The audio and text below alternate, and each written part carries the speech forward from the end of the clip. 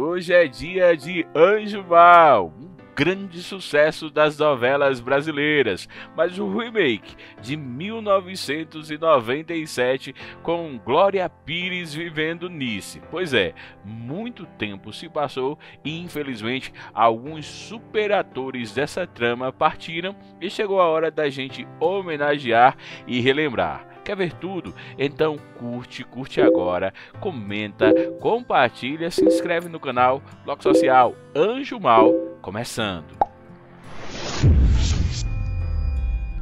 Oi, gente. Pois é, hoje é dia de um grande, um enorme sucesso da TV brasileira. A novela Anjo Mal, mas o remake. Pois é, em 1977, a TV Globo levou ao ar a primeira versão de Anjo Mal, com Suzana Vieira dando vida a Nice. Em 97, foi a vez de Glória Pires e um super elenco levar ao ar essa trama de um grande, um enorme sucesso que com certeza deixou muita gente com saudade. Nesse vídeo, a gente vai lembrar um pouco dos personagens e, claro, relembrar grandes, grandes atores da história do teatro, da TV, do cinema brasileiro que participaram dessa história. Então, tá pronto? Já curtiu? Já compartilhou? Os atores de Anjo Mal que já faleceram. Vamos começar essa homenagem pela atriz Ada Chazeliov, que deu vida à secretária Dora, secretária da família Medeiros, do Rodrigo Medeiros. Ela acabou sendo peça decisiva para o final da história, já que tinha um caso com Otávio Ferraz e o Sérgio Mamberti. Ela faleceu em 2015, aos 63 anos, vítima de câncer. As Canalhas 2014 foi seu último trabalho para a TV, mas ela fez muita coisa legal. Aricle Pérez foi uma das maiores atrizes da história do Brasil Brasil deu vida à socialite Elisinha Jordão Ferraz, falida, mas que nunca perdeu a pose. Ela faleceu em 2006, aos 62 anos, supostamente vítima de um acidente ao cair de sua janela, da janela do seu apartamento. JK 2006 foi seu último trabalho para a TV brasileira. Ela fez também Felicidade, Os Maias, Canções para Isabel e muita coisa legal. O ator Atila Iorio estava nas duas versões de Anjo Mal. Ele foi o Josias, o pai da Nice, nas duas versões. O ator faleceu em dezembro de 2002, aos 81 anos, vítima de efizema pulmonar. Anjo Mal foi seu último trabalho na TV. Ele também fez Os Gigantes, Escravizaura, muita coisa legal desde a década de 1950 na TV brasileira. Beatriz Segal dispensa qualquer apresentação. A eterna Odette Reutemann deu vida a Clô Jordão em Anjo Mal. A atriz faleceu em 2018, aos 92 anos. Os Experientes de 2015 foi seu último trabalho para a TV brasileira, mas ela também fez Água Viva, Poliana da década de 1950 na TV Tupi e muita coisa legal. Carlos Kroeber deu vida ao Conrado em Anjo Mal. O ator que fez também muita coisa importante para a TV, como Roda de Fogo, faleceu em 1999, aos 64 anos, com problemas respiratórios. Labirinto 96 foi seu último trabalho para a TV.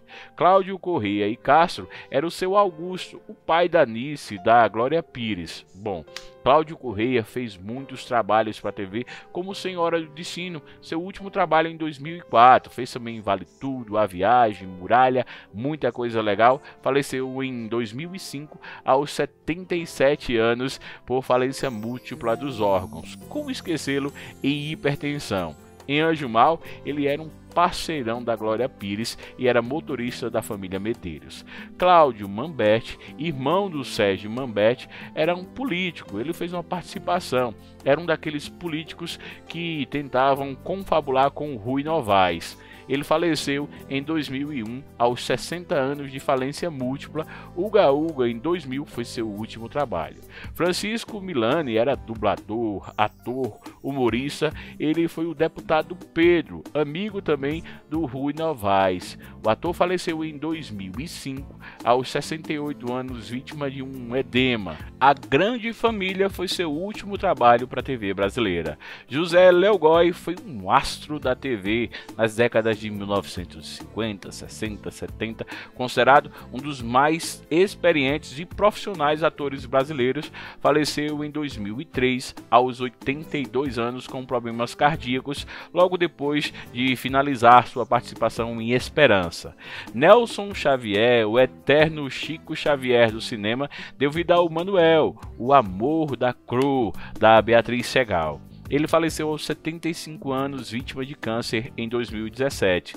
Sua última novela foi Babilônia, 2015. Ele fez também Joia Rara, Gabriela, Sangue e Areia e muita coisa legal. Mas claro, no cinema ele brilhou.